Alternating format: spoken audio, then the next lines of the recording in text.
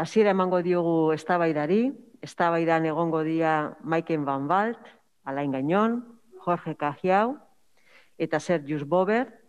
Donatela e, azken orduko bat izan du eta deskonektatu behar euki du, alba du berriz konektatuko da debatera, baina bueno, baditugu e, pertsonak eta eztabaida gai.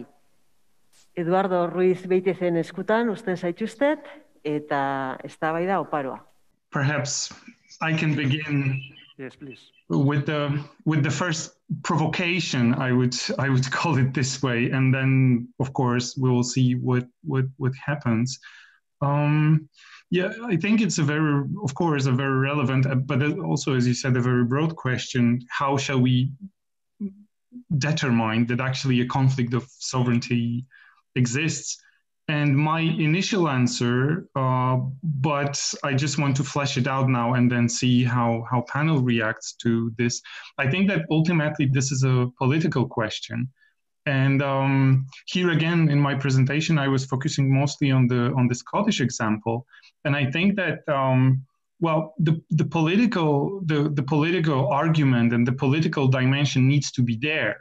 And if we look at the the most recent history of, of, of uh, of the United Kingdom and what happened just before the, the, the Scottish referendum, of course, there were certain polit- political dynamics inside Scotland that relatively clearly showed that there is a certain very extensive sector of population that would like to seriously consider the possibility of Scottish um, independence. So I would say that certain critical mass is necessary. And of course, the, the in the British context, what was important is that that was met with the willingness to acknowledge it by the by the national level and proceed in a legal way, step by step towards the, the referendum and the answer that was given by the by the by those who were eligible eligible to vote.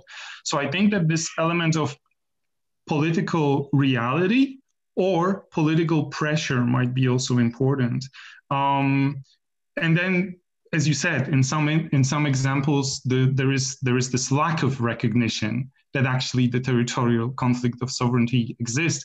And here, and I will stop. I will stop with this first interve- intervention uh, now. Here, I think that the civic political slash civic way is very very important so to try of course the element of fatigue can also happen during this process but i think that the political slash civic way of sort of pressing the argument that actually we have reached in a given region in a given in a given small scale polity we have smaller scale polity we have reached a certain level where actually this question whether we want to be, be independent or not is very legitimate should be pressed up to a point where the national level rec- recognizes this. But as we know, of course, from the from for example from the example of Catalonia, it's easier said than than done. But I think that this level of of civil activity and, and political level is very very important here. So that's my initial opening remark. Mm-hmm. Perhaps to perhaps to pursue. Uh, there is, uh, at the moment, there is an acknowledgement on the part of Madrid that uh, there is obviously a problem with uh, regards to the, the state, uh, the region of Catalonia, the fact that there is a an ongoing table, people, uh, or the official meeting, uh, minist- ministerial level discussion. So there is an acknowledgement. Uh, but at the same time, the uh, implication is that Madrid doesn't want to change anything. Uh, they want, in fact, they are wasting everyone's time, so to speak. But there is an acknowledgement, as long as there is no political implication or consequences to these gathering. Uh, so perhaps the, the alternative or the solution is to be found within Europe, obviously. This morning we heard Nicolas uh, Levrat we spoke about the Copenhagen Declaration, and I think there's a there is something to be said about this declaration. But also, much more recently, uh, in 2012, there is a Ljubljana guideline that had been proposed, and the Ljubljana guideline is about the uh, about how do you accommodate or seek to accommodate uh, national minorities within countries. Now, obviously, this idea of accommodation integration does not fit the exact bill because what is needed, what we need to add to the guidelines of, uh, of Ljubljana will be the empowerment of the minority nation. And at the moment, Europe is not willing to move in that direction. And, and that's unfortunate, but perhaps pressure that needs to come from different circles, among which the Association of Region within the, the Community of Europe ought to be mobilized perhaps around this potential arena. Bueno, bueno decir solo un comentario, un comentario sobre la mmm, caracterización precisamente de los conflictos de soberanía eh, que yo creo, yo creo encontramos sobre todo precisamente en los casos en los que hay una ausencia de reconocimiento de la otra parte como, como parte legítima para entrar, para entablar un diálogo y buscar juntos una eventual salida. Y creo que, creo que el, caso, el caso de Escocia lo, lo, muestra especialmente bien. El caso escocés, con el referéndum de 2014, yo no sé si me atrevería a decir que se trata de un conflicto territorial de soberanía, no al menos en el momento en el que surgió el problema, las demandas uh, escocesas. Quizás el problema se haya vuelto a día de hoy, en el 2020 y en los próximos años, con la especial, especial situación que ha traído el Brexit o que va a traer el Brexit. Quizás ahora sí podamos tener un conflicto de soberanía en el Reino Unido entre el gobierno británico y el, el, gobierno escocés, entre la mayoría británica y la mayoría política escocesa, pero de pronto, de pronto en el, la, la, diferencia que uno constata entre lo sucedido en Escocia, con, en el Reino Unido con Escocia y lo sucedido en España con, con Cataluña, es que todo se hizo relativamente con mucha naturalidad, eh, con bastante rapidez, con mucho civismo en el Reino Unido, reconociendo precisamente eh, la legitimidad de la, de, de la, mayoría escocesa para llevar a cabo el proyecto que se proponía y sin duda, sin duda en esto creo que tiene, tiene una, una, una, gran importancia el hecho de que el Reino Unido tenga una vieja tradición, una tradición histórica de reconocimiento de sus minorías nacionales o de sus naciones internas, ¿no? Uh, mientras que en el caso español esto es mucho más, uh, esto es mucho más difícil, es mucho más complejo. Podemos observar cómo en el caso español esa dificultad para reconocer a sus naciones internas, el País Vasco o, o Cataluña, y en el, en el, caso catalán concretamente, ha llevado a un callejón sin salida eh, eh, en, el, en, el, caso de las demandas de, de, de autodeterminación o de secesión. Eh, hechas por la mayoría política catalana. Y yo creo que sí, en el caso, en el caso catalán, en España sí tenemos un auténtico conflicto de soberanía en la medida en que hay una, hay una falta de reconocimiento y, y, y entramos, el problema entra en, una, en un callejón sin salida, en, en, en, un terreno en el que no hay solución y lo único, lo único que se puede observar es una degradación de ese conflicto iniciado. ¿no? sería lo único que quería comentar sobre, sobre esta, esta, esta observación que hacías. Perhaps if I can react, uh, since there was no other question, there, there is a question coming from Nicola McEwen, uh, I think that needs to be addressed because Nicola is, is telling us that there is the issue of well, how do we define sovereignty? I mean, obviously the the UK uh, doesn't see it the same way at least London doesn't see it the same way in uh, Edinburgh. And uh, the same thing probably applies to Canada. I mean, the way that sovereignty is being viewed. So oftentimes uh, the federal, the central government in Canada will say, well, if sovereignty is simply about the management or the implementation of public policy, Quebec can have a lot of leeway. But if it's uh, about the being a political subject, perhaps it's not that uh, we should not encourage this. And this is what's happening really at the moment in, in Scotland, where the political subject appears to be only one. And but when it when it is about the management of public policy, then you could have several actors intervening, and and uh, we see that uh, occurring uh, more and more in Canada now. Although many people praise the 1998 Supreme Court reference it remains that it is the, the Supreme Court itself that uh, determine the nature of the uh, political arrangements and then they pass it on to politicians to mobilize group potentially.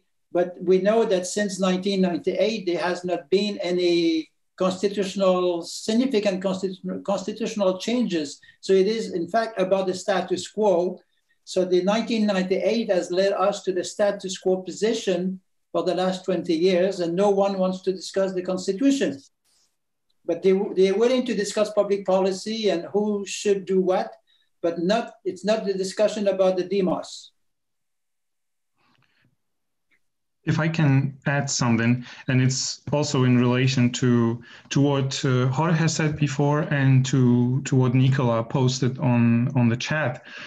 Yeah, I think it's it's interesting because indeed, well, Jorge said that if I understood properly, I was listening to the to the Spanish version, that we kind of have these two narratives, and in the on the one hand, there is a Scottish uh, version of the referendum of conflict of sovereignty dilemma or referendum dilemma, which is fairly positive because it was legal, the, the, the national level, in that case London, acknowledged that there is a willingness to, within the, the, the, Scottish population, Scottish electorate, to have this kind of a referendum. And then legally, as I said before, step by step, you know, all this procedure happened until the moment of vo voting and, and certain result. Um, and then the, the, the other story is the Catalan story, where, as you, as you said, perhaps Spain and Catalonia has reached this callejón sin salida, like a cul-de-sac, and there's no sort of way out of, of this.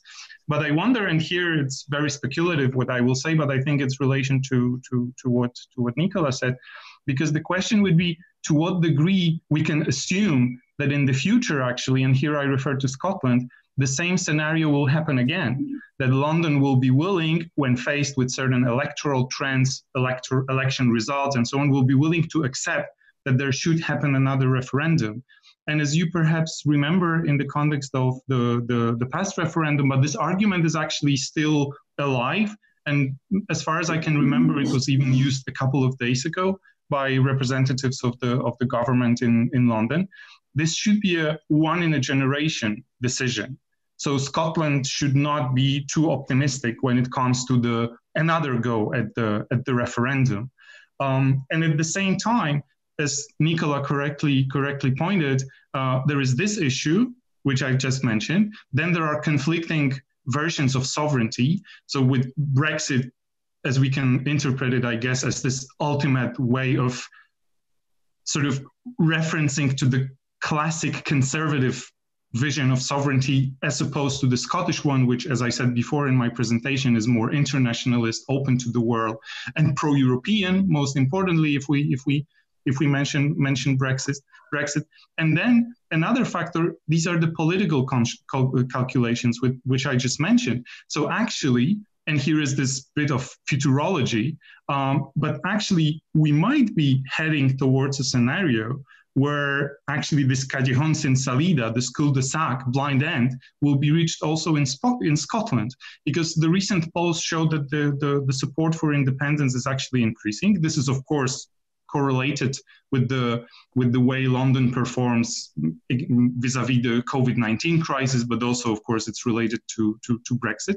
So there is this growing pressure. We will see what, what the next election brings in, in Scotland, but it cannot be excluded that, again, a strong sector, very, very significant sector of population will be at least indirectly sort of saying that you know the the, the another re referendum should actually take place but this time around london actually might not be listening so we might actually have two uh, two cul-de-sacs in, in europe in a, in a very near future which perhaps again makes it even more important this whole endeavor in which we are all engaged now that means the the code of good practices and i'm i'm stopping here if I may, um,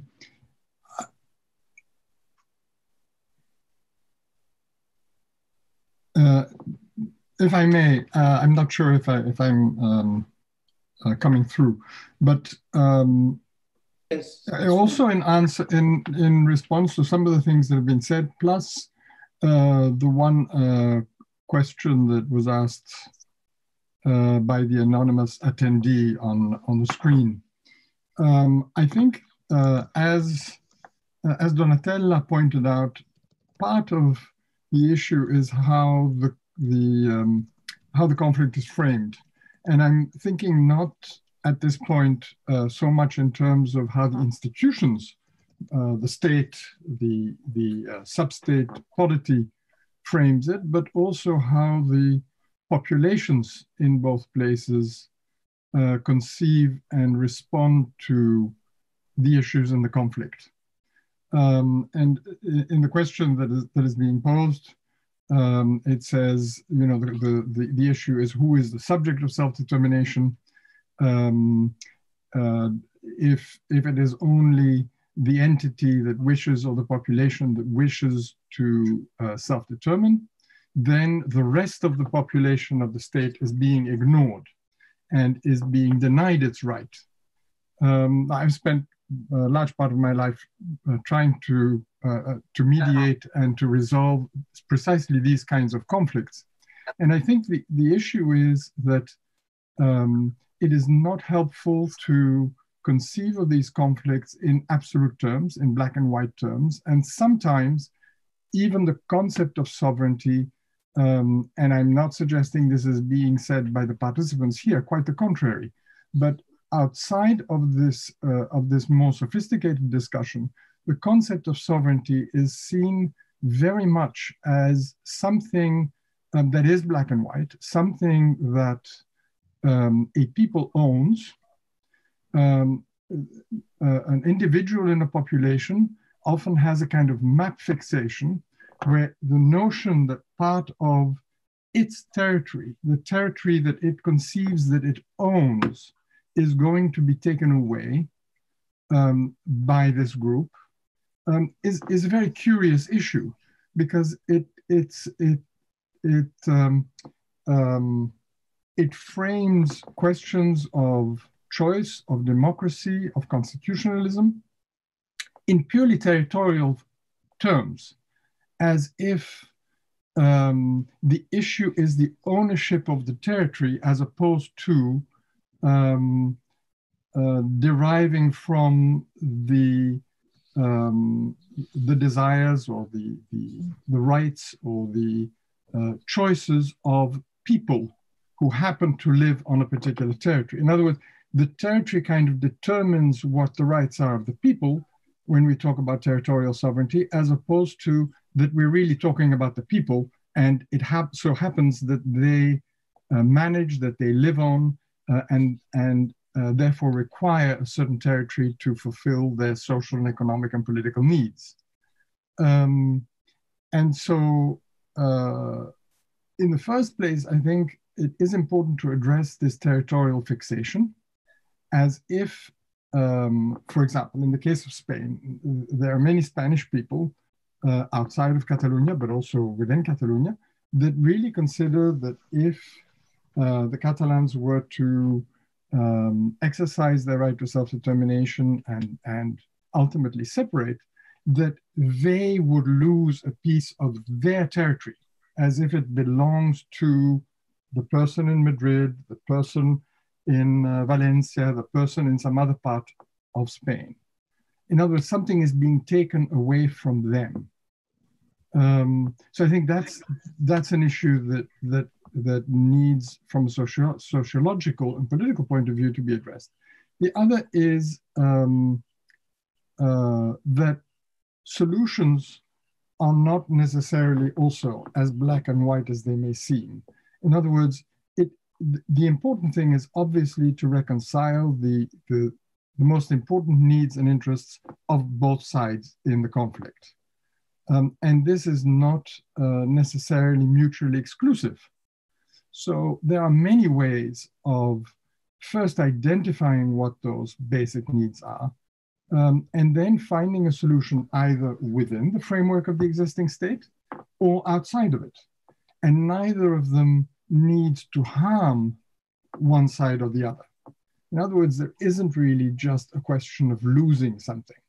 It is quite possible that a solution where that substate separates is actually going to benefit uh, if a good relationship is built between those two parts in a future uh, solution.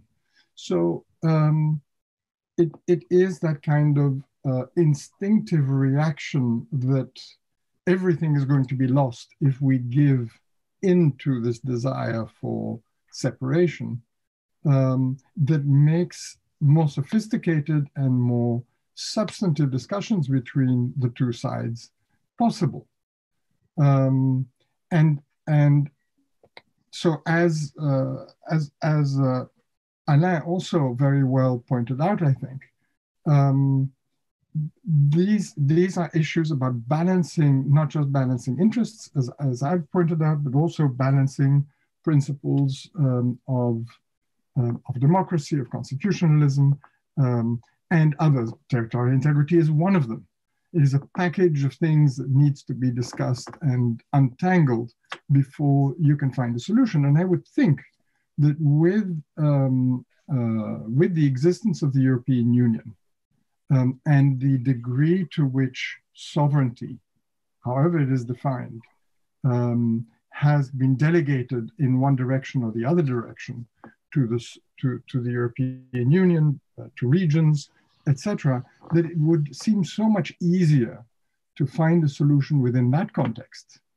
Um, since we're within the European Union, we're not really separate individual, completely sovereign entities anyway, um, than uh, in, in the, um, uh, I think as Sergius has, has characterized it, in the uh, isolationist type of, of model which we encounter in many other parts of the world.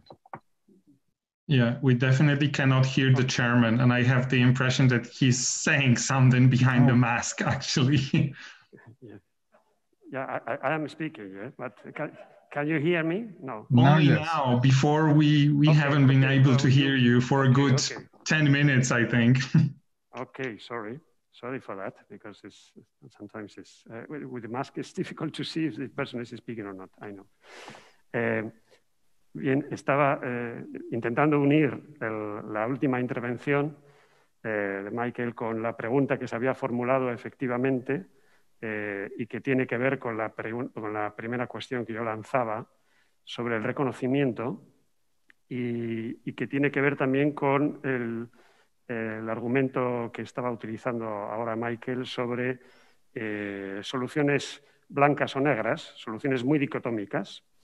Y en ese sentido eh, quería rescatar un concepto que ha introducido Alain en su intervención, eh, si no me equivoco, y que es el concepto de la asimetría, de la búsqueda de la asimetría o de la gestión de la asimetría. La gestión de la asimetría no parece tampoco mucho más fácil que la gestión de la soberanía eh, como tal. Eh, tenemos algunos ejemplos eh, también que se van repitiendo con el tiempo y seguramente Alain Gañón nos puede decir algo. Viene a mi, a mi memoria el, referéndum fallido sobre los acuerdos de Charlottetown en, en, Canadá, en el, en el, cual prácticamente las dos mayorías en juego, la de Quebec y la del resto de Canadá, rechazan un equilibrio que llega a buscarse, eh, buscando precisamente una solución un poco más gris, no tan blanca o negra. Eh, ¿Cómo podemos articular, cómo nos podemos acercar desde la elaboración de un código como el que aspiramos a, finalizar eh, a esas soluciones asimétricas en estados o en estados multinacionales o en estados que realmente tienen una sociología muy asimétrica?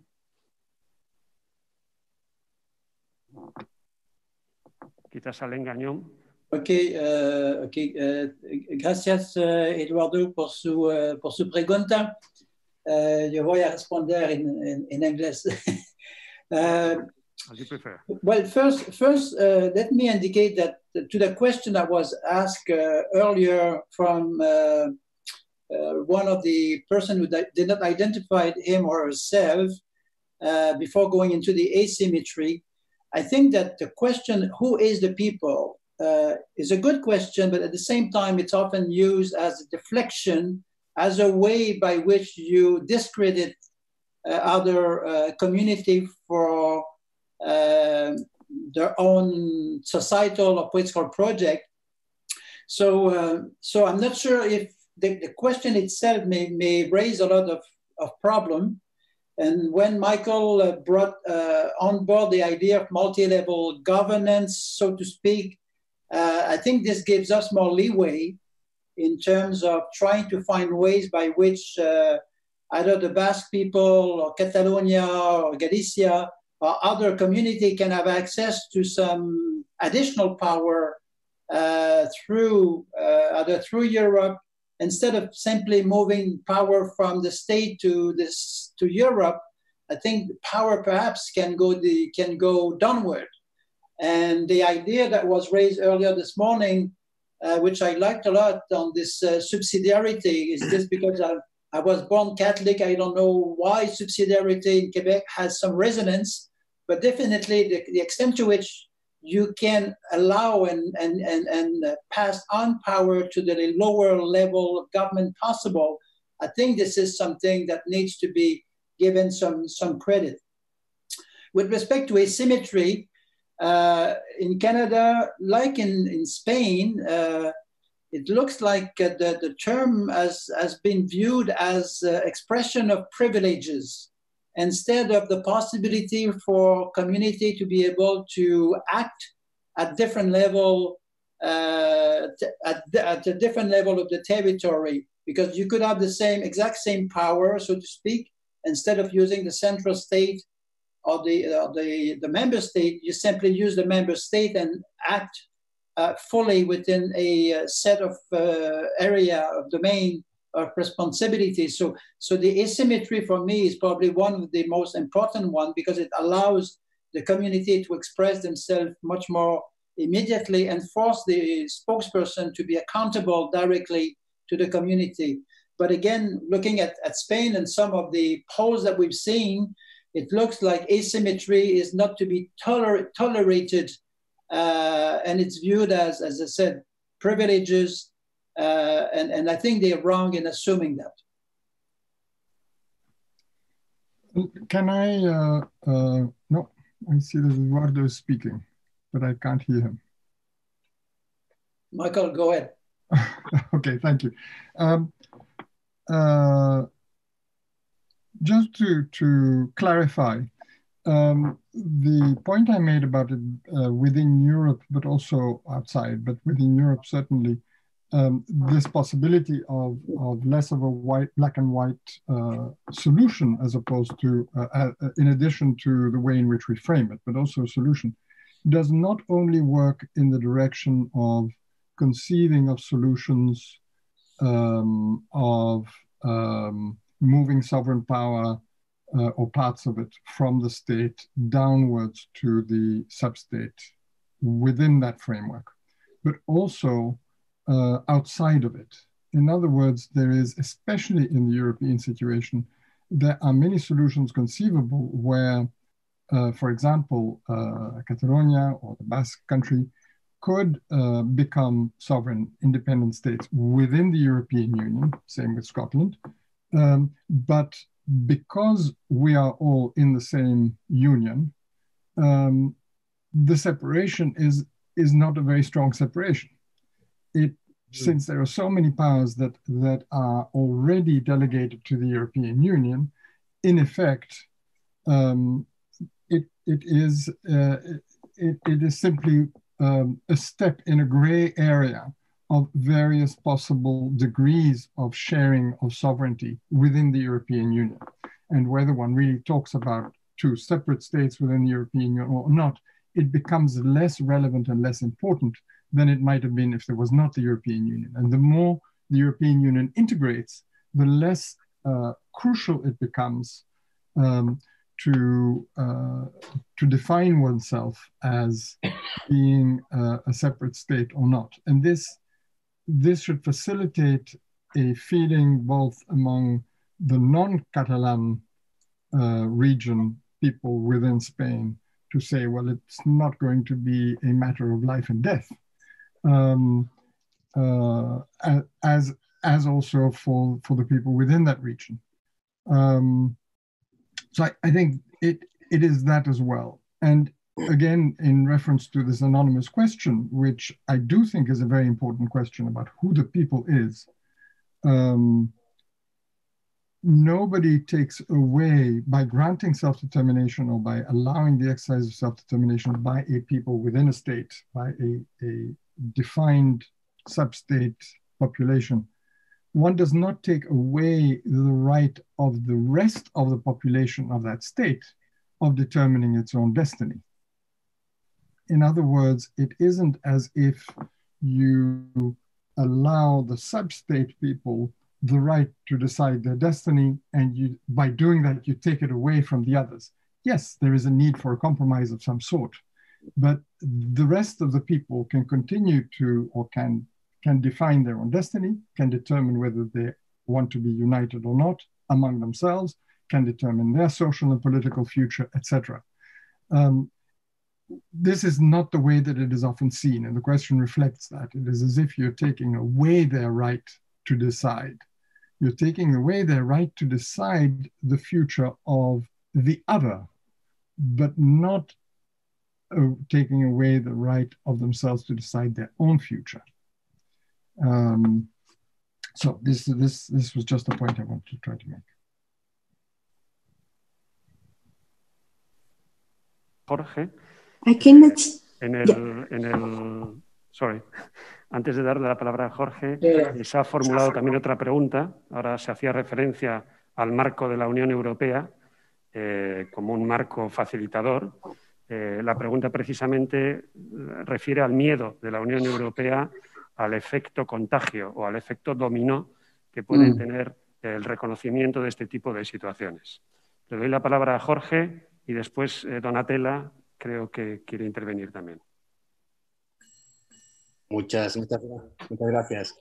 Eh, bueno, sobre, la, sobre las soluciones de grises, me gustaría decir algo, porque bueno, yo creo que entre nosotros podemos estar seguramente de acuerdo y puede haber un gran consenso sobre quizás la idoneidad de soluciones que no sean blanco y negro, es decir, blanco y negro sería pues el statu quo, la inmovilidad, el, inmovilismo y por otro lado sería la, independencia o la secesión.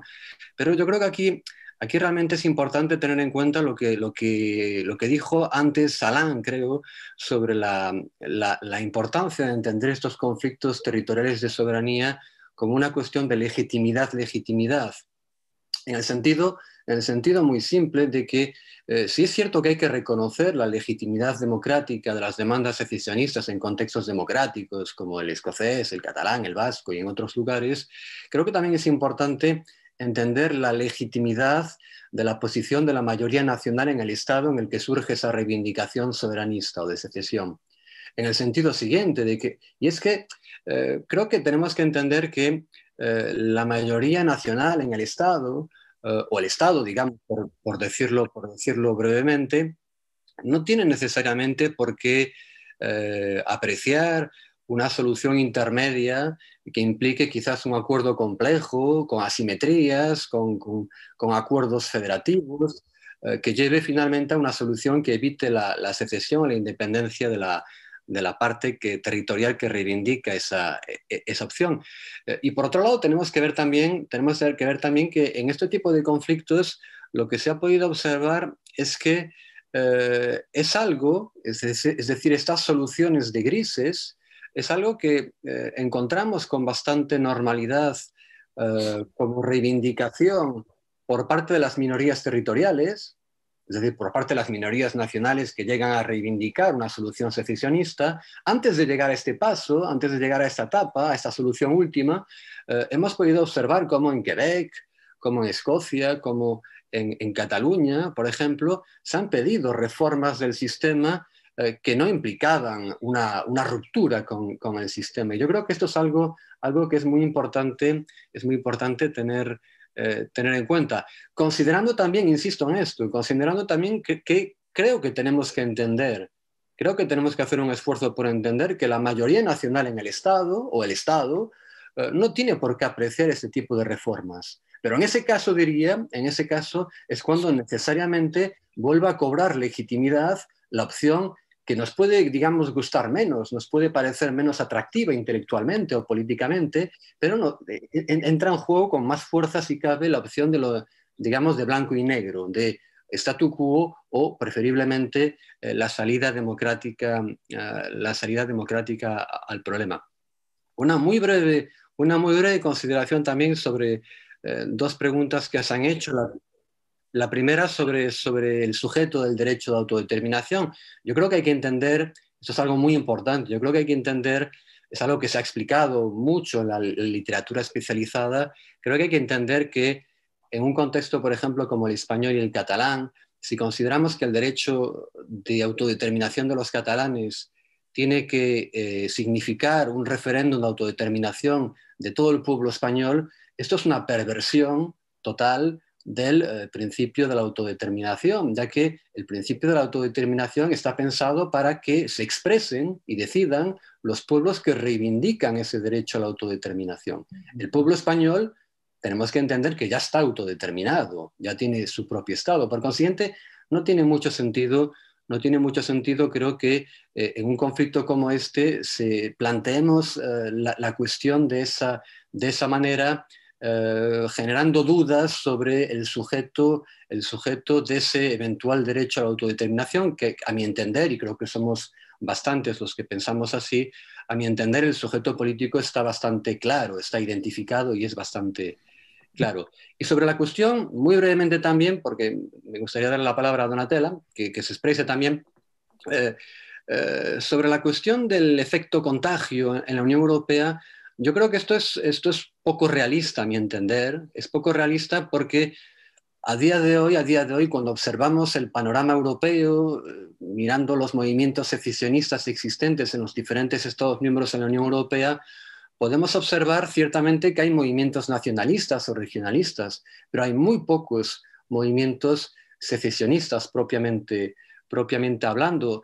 Por lo tanto, creo que este efecto contagio eh, es, es, poco realista a corto plazo, lo cual no significa, lo cual no significa y termino, y termino aquí, lo cual no significa que el propio proceso de federalización de la Unión Europea, pero esto ya no tiene nada que ver con los movimientos secesionistas, lo cual no significa que el propio eh, proceso de federalización de la Unión Europea, si sigue su camino y se acaba, digamos, llegando a una mayor integración política y social, no genere por sí mismo un movimiento, eh, en este caso sí de, digamos, de acceso a la condición de estatalidad para convertirse en un actor político que esté en la mesa de discusiones a nivel, a nivel europeo, lo que no es el caso actualmente eh, para regiones poderosas como Baviera o como, como Cataluña o, como, o como Escocia.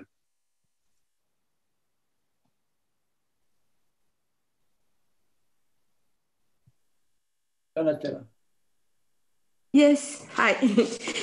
uh, I agree with the, with the last point. I also uh, do not see uh, many actual um, problems of uh, uh, exploding conflicts in the European Union, especially once the UK are, uh, have completed the Brexit. Because I see that uh, other uh, uh, possible conflicts that could be relevant are uh, in the Northern Ireland, but they, will no longer be within Europe. Intended understood as the European Union. I also saw that there was a question that was addressed more directly to me about the role of uh, new parties, uh, movement parties emerging, and what it could mean in terms of uh, uh conflicts on sovereignty. And I just wanted to go back to a couple of points that uh, I made all, uh, also in the general presentations. One is that from the sociological perspective, um, conflicts tend to be quite messy in the sense that uh, they tend to see overlapping cleavages. Uh, and in conflicts of sovereignty, there are al also many other uh, issues or cleavages that uh, interact. So, issues of social justice, uh, issues of democracy are all issues that are mobilized within uh, uh, conflicts on uh, sovereignty. And in fact, what we saw in the recent wave of conflicts is that they have emerged within a series of crises uh, like the uh, austerity crisis that clearly played a role uh, in the Catalan case, but also in the Scottish case. And so that um, the role that these parties could have is in addressing um, cleavages that are uh, often related with uh, what Rokkan uh, defines as the center periphery. So in moments of heightened conflicts, in moments of global wave of protest, like the one that we were living before the pandemics, but uh, is uh, uh, still um, quite active at the moment, what we see is the need to address several problems and uh, that territorial uh, conflicts in general uh, are um, opening up. So, but they are not only center periphery conflicts in Stein-Rokkan definitions, but also, for instance, the urban-rural type of territorial conflicts that we say that we see playing an important role. for instance, in the American election. So territory is important, but I think its um, uh, territorial identities are also uh, referred to imagined communities. And so I think that uh, changes in the party system and the emergence of movements that address also issues of uh, class and democracy uh, are to be taken into account. Another issues which I think is also relevant is that um, as we know, conflicts tend to evolve in different uh, uh, directions according uh, to the ways in which several and complex players uh, uh, uh, play a role within uh, this uh, evolution. And in this sense, I think it is important also to consider the role that these movements and parties can have uh, in creating spaces for um, what is usually understood as participatory forms of democracy or deliberative forms of democracy. So spaces in which um, the different positions can be uh, um, put in, in dialogue with each other.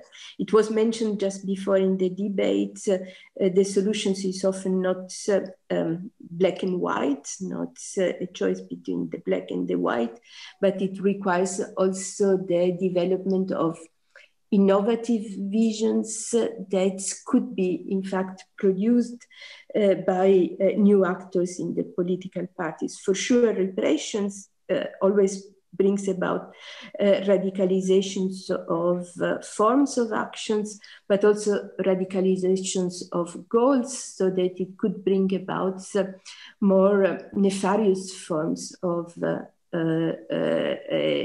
nationalism, while inclusive forms of nationalism uh, could go together with reflections on um, social justice and democracy. in this, I think we have been focusing a lot on referendums as a potential uh, solutions, but and I think uh, that uh, this uh, is um, a main way of addressing democratically sort of um, uh, territorial conflicts as other conflicts, but also referendums are expressions of direct democracy that could also always be risky because uh, not only they imply the need uh, to make decisions about who has the right to participate uh, in the uh, decision making forms, but also tend to polarize, tend to create the black and white. Uh, visions. So referendums are needed, but I, I, think they also need to be accompanied by um, different uh, forms and institutions of democracy, uh, uh deliberative arenas and participatory type of arenas in which people not only vote, but they can talk. Often this is a part of the referendums process, so also to create debate. We have seen it in Scotland. We have seen it also in uh, Catalonia. But I think this also need to be taken into account. So it is uh, not only with the referendum, but with intervening uh, or thinking about what can make the referendum more high quality. I may jump, jump in and ask uh, Donatella, please, could you tell us what you mean by uh, radical radicalism? Uh, if you were to look at the case of Spain, for instance, uh, who are the radicals? Well, I was thinking not, not uh, uh, immediately to the Spanish situations, but more in general uh, about the development of um, a, a, cycle of uh, protest. But uh, Spain has also a history of uh, violence related with ethnic conflicts that is more a history of the past.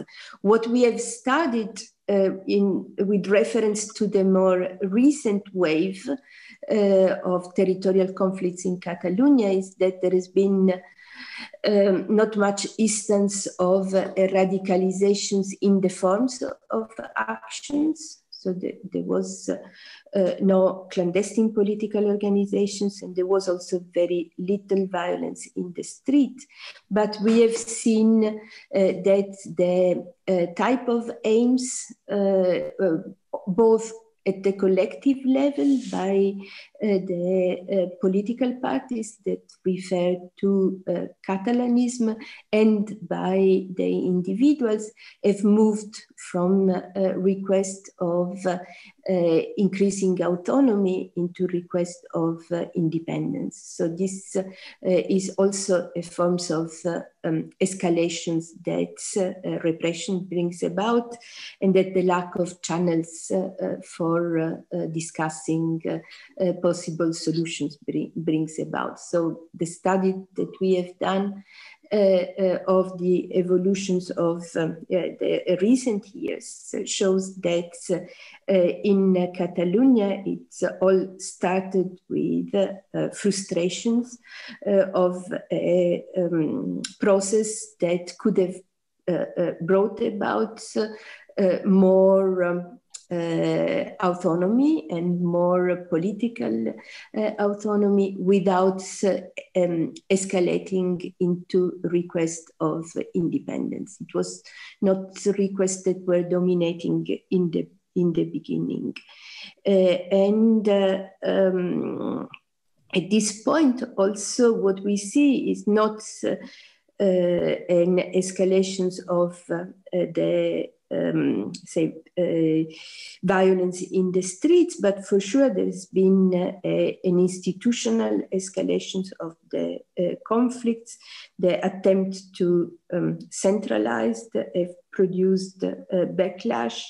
And so this, this is what uh, uh, I mean in general. And of course, I've studied also uh, civil wars, and we have examples of referendums that ended up uh, in higher polarizations because uh, uh, referendums can scare the minorities, whichever these are. And this is why I think that two forms of direct democracy, one needs to also um, say uh, put together, uh, combined with uh, forms of participation and deliberation. Wanted to say that there's five minutes left, but it's we're running out of time. We have been already here for one hour. Um, there is still uh, there are still two additional questions. One referring to feelings against rights, and another one is, I guess, more more comment to respond to, to Jorge. But as we don't have uh, more time to to to debate, I would invite you to to make probably a final remark if you want to address one of these two topics. But if not, please, uh, a final uh, short uh, remark to conclude all this, this, this panel and this debate. Who wants to start? Maybe Sergius? Oh, sorry, Michael, I think you asked the floor, so sorry. Yeah, you, you... It doesn't matter. It doesn't matter. Um, I just think, as a final remark, I uh, very much think it is useful to um, focus uh, our attention on the issue of legitimacy, which has been brought up by a number of speakers uh, uh, as, as a kind of anchor of a lot of this, this discussion. Also in relation to, to the last question you posed about the domino effect. Um, there is nothing inherently positive or negative about separation, about having more a, a larger number of states or, or a smaller number of states. There is no inherent inherent uh, size of territory that works better than another, and we have lots of examples of that in Europe uh, and outside. So the the core question becomes what um, what type of policy and um, relationships between policies creates the, the highest degree of legitimacy. Um, and that can be and that can uh, require separation, can require a solution uh, of separation if uh, a particular constituent part of a state no longer feels represented by the state, no longer feels it belongs in it and that that state represents its needs and interests um, because that is a deficit in legitimacy of that state. Um, and for the European Union as a union, the legitimacy of the union also increases as the people that constitute the union uh, feel most uh, participating in the union and feel that they're fully represented and that their needs are fully represented by it. Um, so at, at the different levels, at the supra level, at the, at the national level um, or the state level and the sub-state level, questions of legitimacy, including uh, the discussion on rights of minorities, um, I think is, is the key concept that, that um, we constantly need to focus back on in terms of responding to these, these various questions. Thank you. Maybe now, yes, Sergius. I didn't approach the minority issue yet, but maybe you can say something in the final remark. Well, what can I say? What can I say besides the the obvious? Um, it was indeed not really touched in the in the debate, but I think it's strongly linked to to what Donatella was saying in her most recent intervention. So, um, in that sense, I think it's it's crucial here um, in terms of conceptual effort. So minority issues needs to be respected. But as I said in my presentation, this is not only important if we look at the grievances of uh, Catalans, Scots, and so on. It's also about the, the solution that that can be, should be implemented when actually independence happens. And here in this context, perhaps, and this is something I did not mention in the in my presentation, it's in the text um, but it is linked to, to I think many points made by the by the by the colleagues uh, on the on the panel that actually the serious look at minority rights can also lessen the tension between the successor state and the newly independent state. You know, because if we ask the question, okay, so, what would be the position of people siding with Spain independent in independent Catalonia? What will be the position of people siding, if I can use it this this sort of colloquial word, um, siding with England or United Kingdom, the continuity of the United Kingdom in the independence of Scotland? This actually, this conceptual process can actually bring those two new entities together, so the successor state and the newly independent states, and also just bring down the, the, the, tension because I think we very frequently assume that what will happen after independence, it will be a prolonged period of actually uh, very rough discussions concerning, you know, how things have to be divided, you know, what will be the future relation of both sides and so on. So I think minority rights in this sense can be also an issue. Of course, it cuts across to the deliberative aspect mentioned by Donatella and so on. So the, the need to listen to everyone literally during the uh, independence referendum campaigns and, and so on. But I think really we should not miss this point. And then just a final point uh, concerning the, the European Union, uh, because instinctively I very much tend to sympathize with those views that actually the due to the complexity of the European Union, perhaps there is space for very asymmetrical solutions, perhaps solutions that that you know are kind of unimaginable from unimaginable from the from the from the present point of view.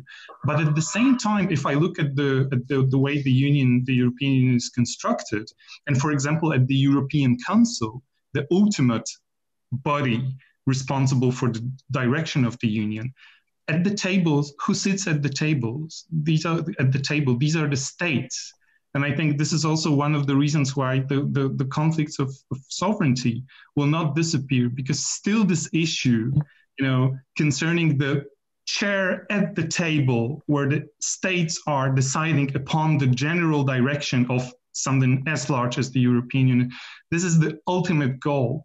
And so so I think that perhaps this dissolution of, of the context of sovereignty within the wider concept of the U- European Union is not really possible. I mean, of course, the newly created states they would like to join, and this is beyond doubt, you know. But they they really want to sit at the very very table where the ultimate decisions are made. So I think we cannot forget about about this aspect.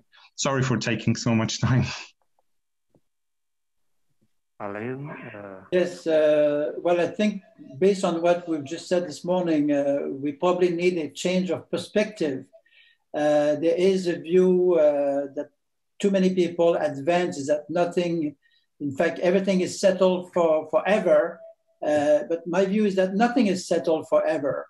And the view that is very present in, in some European countries that, that constitutional fundamentalism needs to be protected by all means. I think this is something that ought to be questioned very, very much. And otherwise, we go, we're going to all go to the wall. I mean, uh, there's a wall in front of us, and it's not very, very securing.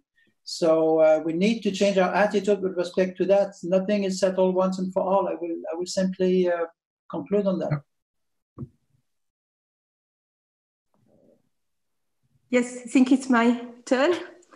Uh, and uh, uh, I, I, I, think that it is very important to think about the legal frames, but my uh, uh, I agree very much also on uh, the need to reflect on a process that could open pathways for different solutions, tailored solutions, things that, my colleague before was saying, uh, we cannot imagine yet because uh, um, um, often the way in which territorial politics is conceived is in terms of uh, territorial actors. But what we know is uh, that actors within each territory are very divided. And so uh, we need also democratic um, uh, legitimacy, reflections on legitimacy, but also reflections on democracy uh, in order to create space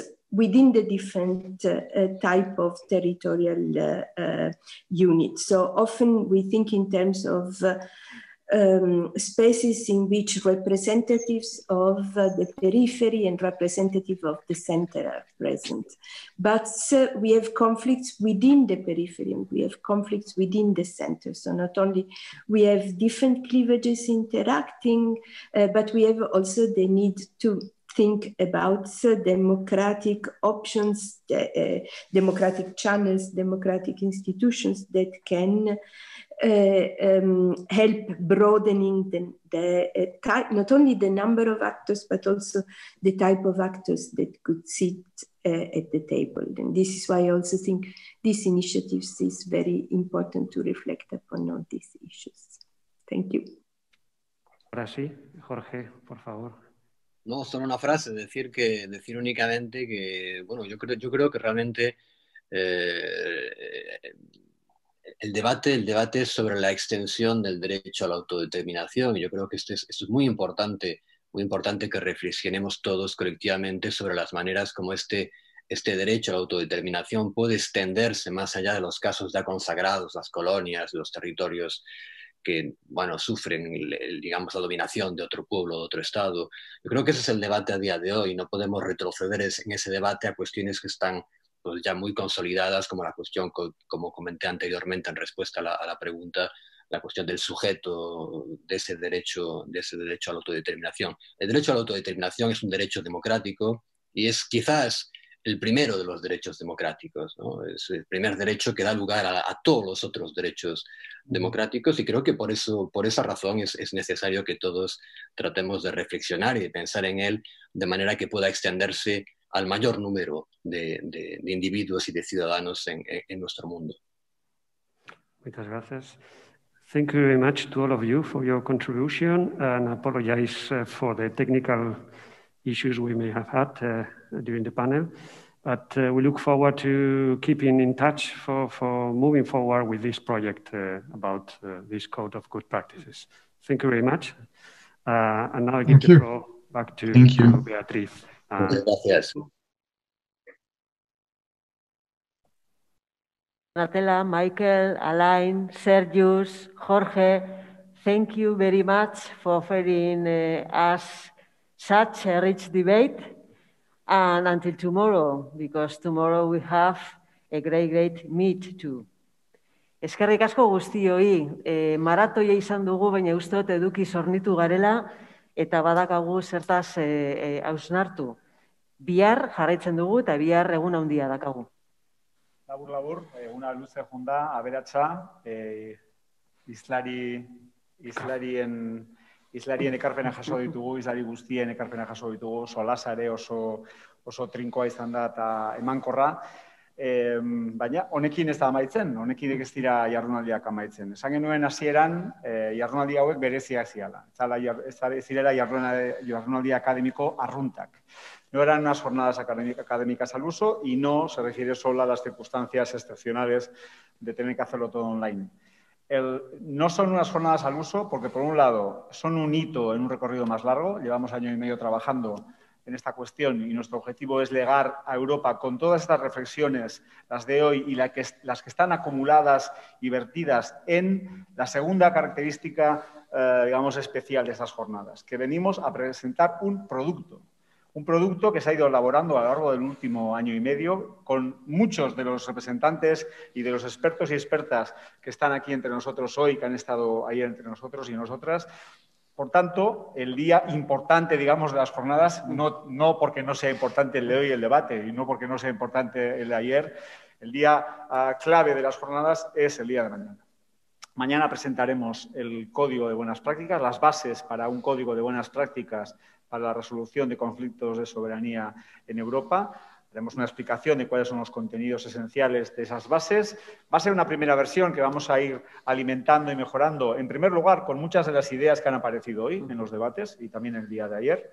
Y, evidentemente, el, objetivo de todo esto es que ese código en algún momento llegue a eh, estar en Europa y llegue a ser asumido normativamente por las instituciones europeas. Y hasta que lleguemos hasta ese momento, seguiremos trabajando al menos en el partenariado académico y también el partenariado que vamos a visualizar mañana, eh, porque van a estar presentes con nosotros las fundaciones que han apoyado eh, este proyecto.